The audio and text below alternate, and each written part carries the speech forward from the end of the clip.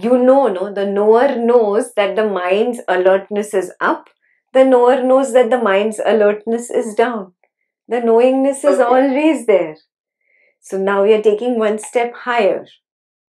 Yeah. Mhm. The same thing will come in the Buddha retreat also.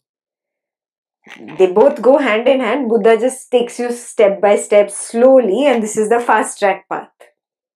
Mhm. Yeah. So now we are going to the knower. We are going one step higher. Alertness Okay. belongs to the mind.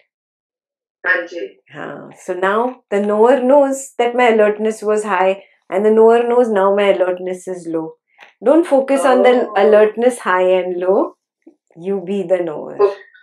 Acha, beautiful. That's nice. Very nice.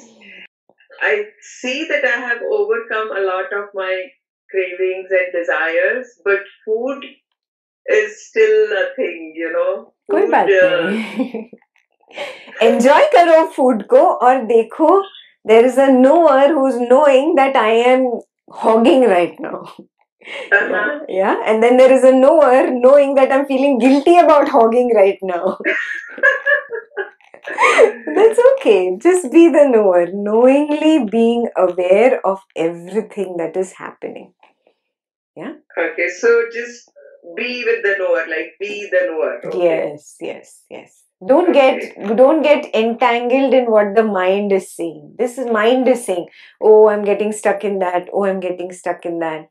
Mm. just be the knower one step higher one step higher now. Oh, mind gets into like um, investigating or analyzing, so just drop that. yes. Just be the knower the field of knowingness